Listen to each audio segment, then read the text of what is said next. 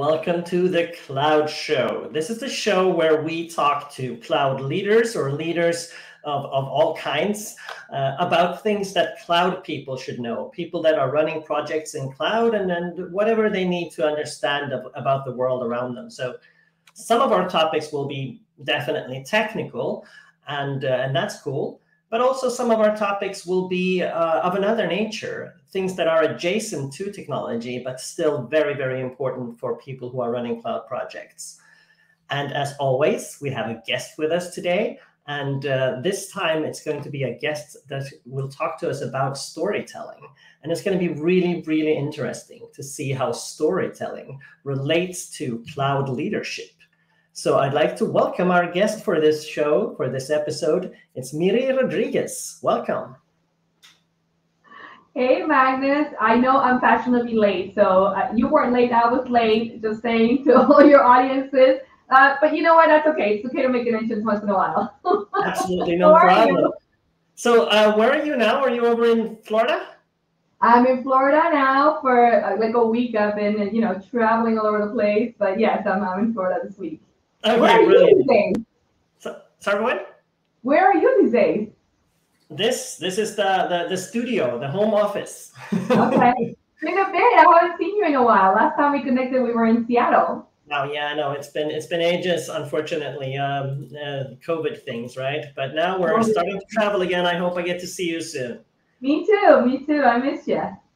Yeah, definitely. So let's let's get into it. Let's get into the meat of this because um, you're all about storytelling. You're you're a brand storytelling to be specific, right? You're a brand storyteller, and you work for Microsoft. Yeah. And so you tell stories about brands, and uh, we know how important this is um, Mhm. in today's market and, and so forth to tell your story. Yeah. Um, now, I'd like to know uh, if I'm if I'm running a company that that is doing a cloud thing, we're we're going towards the cloud, we're doing cloudy things, and Yeah. we have a mission statement or a strategy, things that we're about to do with the cloud. Yeah. Um, why is it important to tell this the brand story about what we are doing um, in in this context?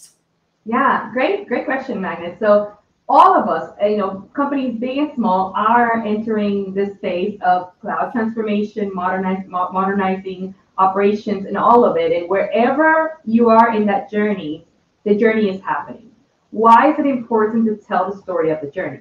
Many reasons, but the main one, as a brand, as a company, as an organization, that transformation you're going through, the communication that happens, the storyline, uh, that journey you're living through and the many changes that are coming across that the verticals, the employees, the stakeholders, if they're not informed in a way that your brand and your brand mission is delivered, uh, there could be disparity in that process. And so a lot of people will be misinformed. It will not be communicated the right way. The mission will not land at the best way. So a brand story has the ability. It's not marketing, uh, it's not sales, but it encompasses all of it at the leadership level. It is the tool uh, that you can use to really enable information, uh, cast vision, inspiration, uh, and all the insights about what is happening in this transformation process. You know, at Microsoft, when I started, I actually started what used to be Microsoft IT, uh, IT Showcase actually, and the stories we were telling back then were about that digital transformation where Microsoft was taking the on-premises data to the cloud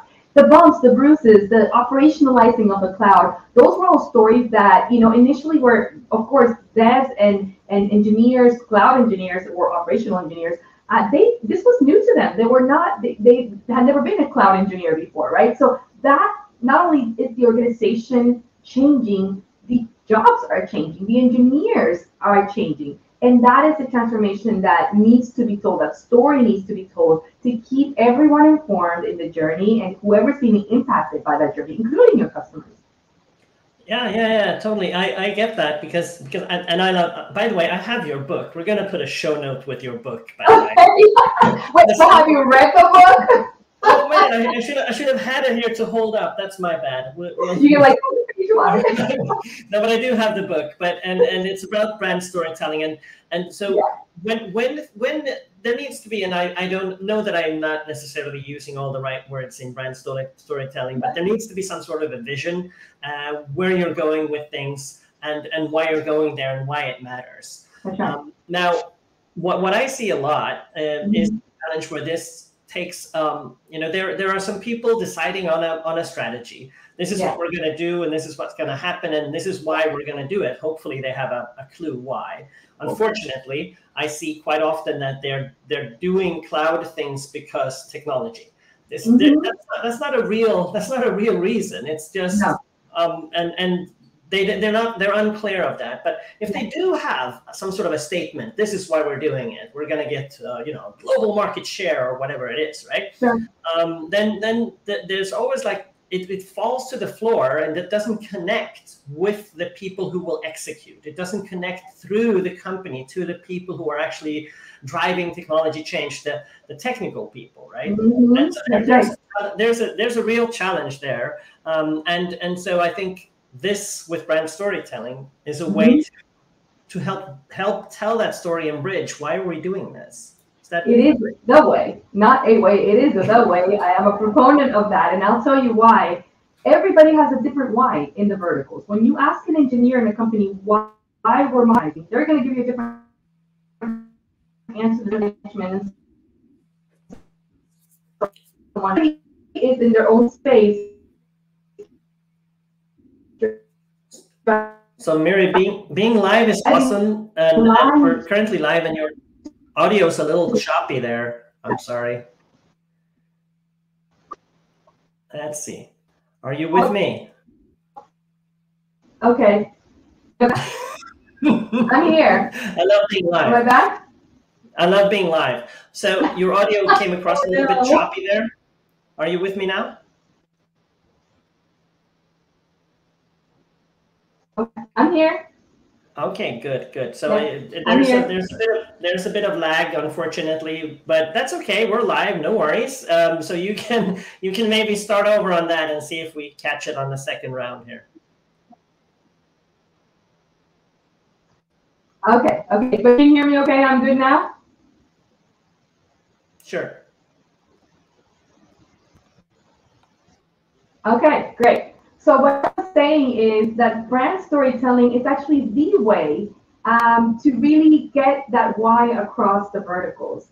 In a company, you will have, you know, if you ask an engineer why we're modernizing, why we're on our way to the cloud, and you ask a finance person, you ask a salesperson, you ask a marketing person, they're all going to give you different answers. We all have a different why.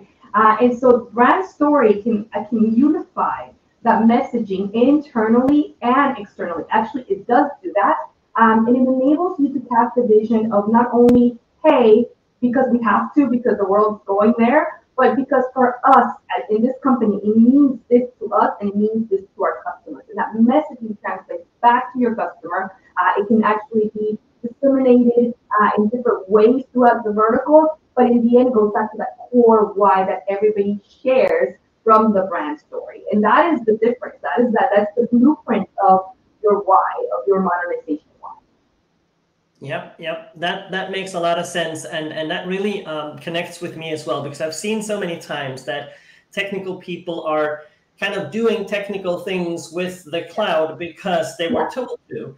They don't sure. exactly know what the directionality is. Why are we doing this? Is it because mm-hmm. we want to get more customers? Is it because we want we have to save money? That sounds that's sad, but that's sometimes true. Or is yeah. it because we have to be you know technically compliant but why do we have to be that? And why why does that matter to us right? Um, so so they don't know why they're just doing technical things. Um, and and it's not a, it's not for certain that we're actually following a plan. We don't know. We're just different people are doing different things. Yeah and let's talk about that. Let's talk about the leadership of that because with the trust there when you have technical people a lot of you may be here in your audience that are technical people you actually have the conviction of the why. Security, for example, is a huge thing. Uh, and but to translate that from a technical standpoint to a customer who you have to say, hey, you got to pay a little bit more now for your subscription because we're going to add this, you know, have this add-on for your security. They don't get that. And so you see it and you see the value from a technical perspective because of the technology that it takes and the, you know, the power that it takes to deliver that, to enable that security, but the customer is only seeing an increased amount, uh, right, on their subscription, their monthly or annual ACR. So this is the kind of thing that um, a story can help delve through. Can actually a good story will clarify that will inspire change, will you know will influ- will influence th- that change, will bring people with you into the journey because not only do they understand your why, they know how your why impacts them,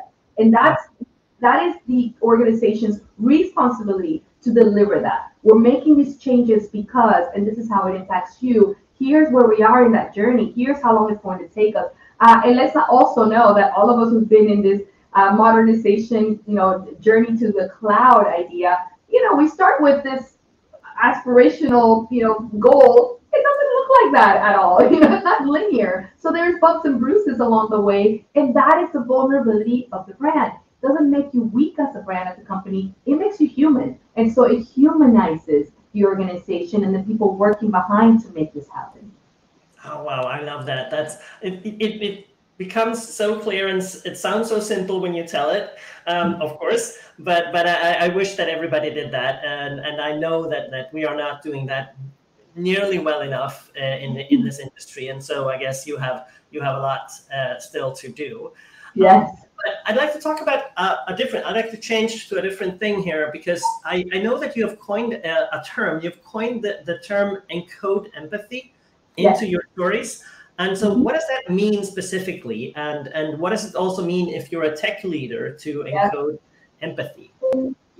Yeah, and you know it's funny. It is actually not disassociated from what we are just talking about. It's actually not a different topic. It's exactly the the build on what we were just talking about. The foundational idea of humanizing our brand and our company and what happens to the engineers and the work that they're doing. So as a tech person, you know, I do a lot of stories in the tech field. I'm not an engineer, but I speak tech, you know, and I've been working with engineers for a long time, uh, especially cloud engineers as well. And so, because that's that's where I started. And so when I when I have conversations with them, uh, there is this I don't want to call it break, but there is this distance between the, the message that they want to deliver, and they're so passionate. You're you're also passionate about the work that you do and your why you have it, and then how that translates to the common folk who don't get it, right? And so encoding empathy in your in your stories is it's it's the delivery of that message and you understanding that while it makes a lot of sense in your technical mind, it does not translate to your pe- the people that you want to deliver this. As a tech leader,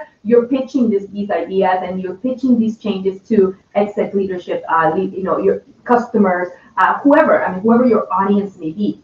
So pausing a little bit and understanding how you going a little further to to empathize with that audience helps you. How do you empathize?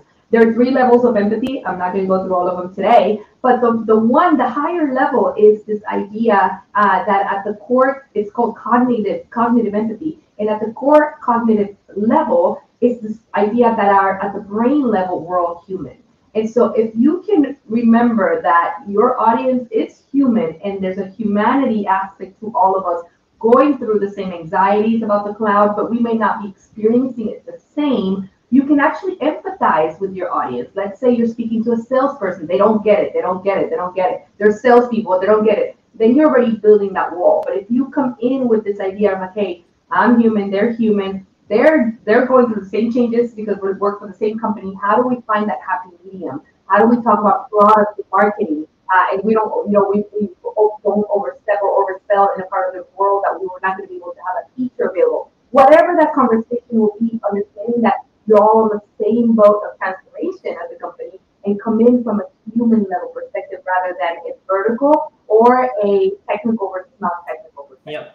Yeah, yeah, yeah. That makes a lot of sense because um, tech people and and um, normal humans are, are two completely different species. And, and by the way, when I say tech tech people are not normal, I mean that tech people are magical, right? Tech people yeah.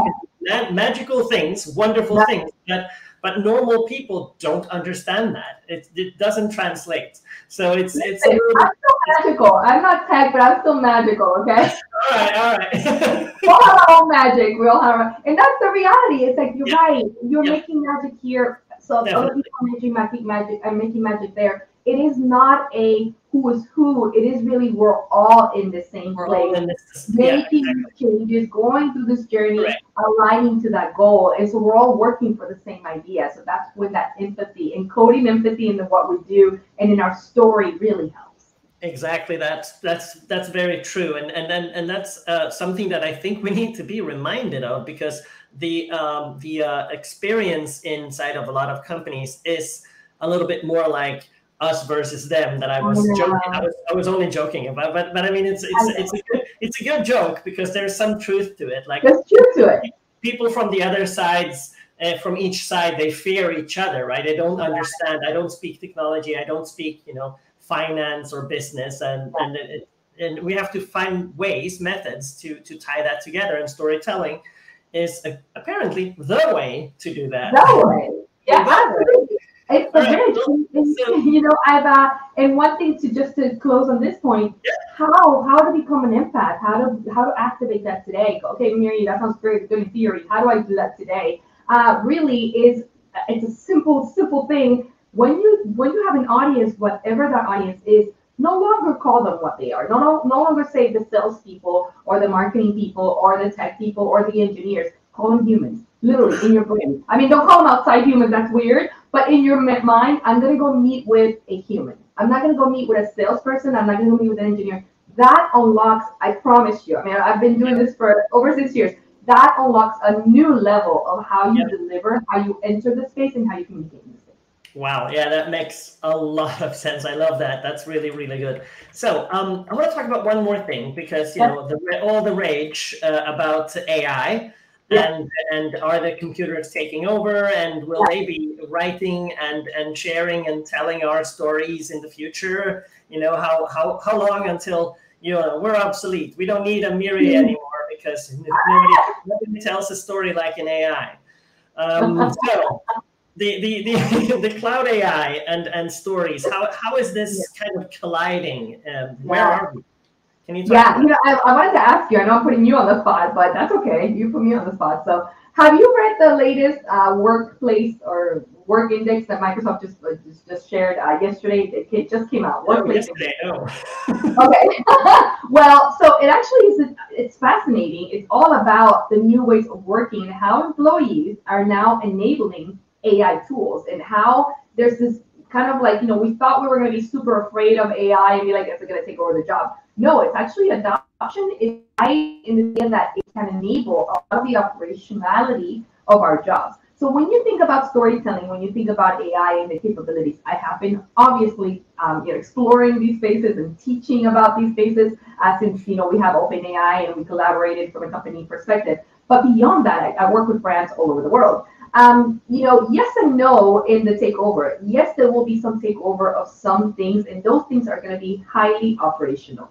Can it give you tell me a story in three seconds? It can.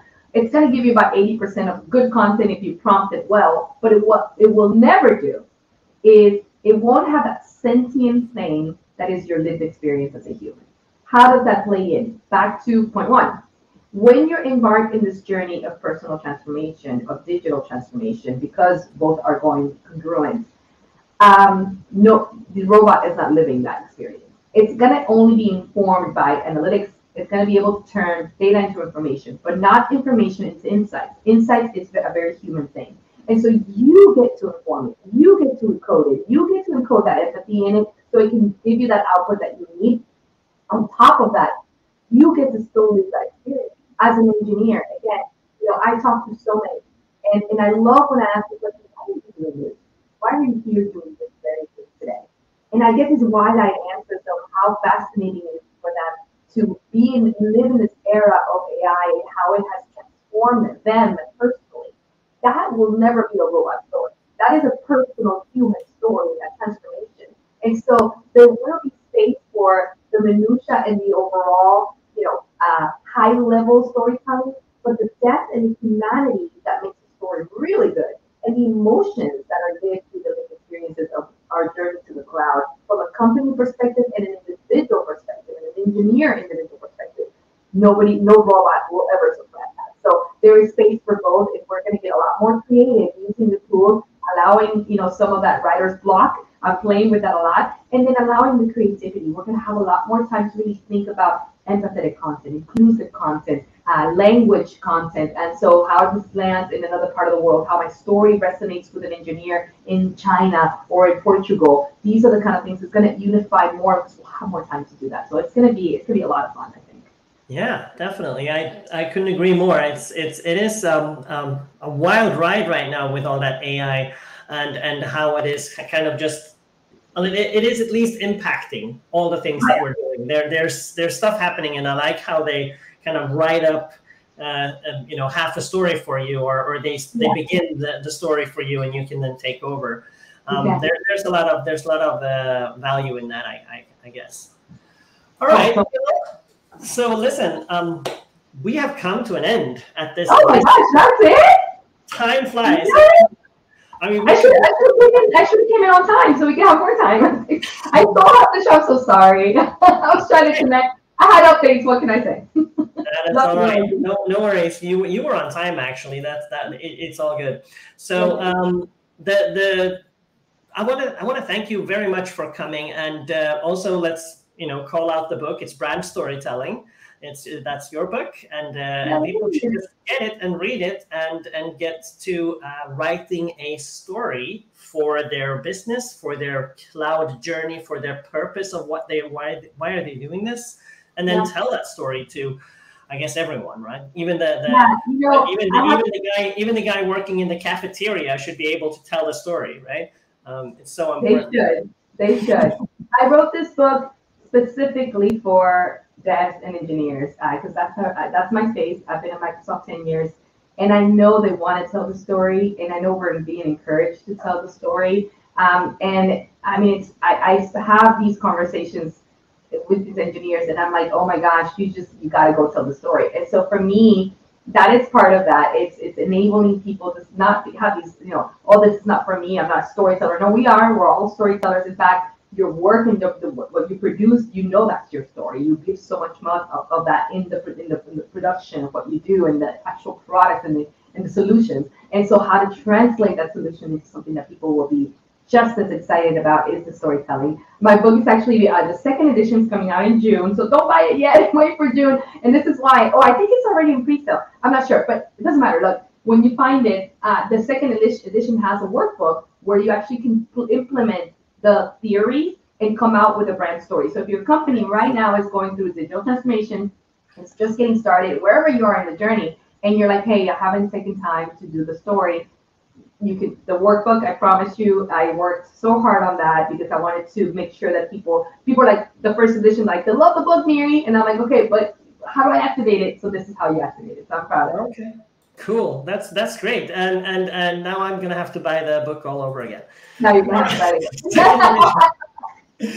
Thank you Miri for being on the cloud show today. It was lovely having you. Thanks for having me. it's good seeing you magnus. Be well. Bye-bye. Bye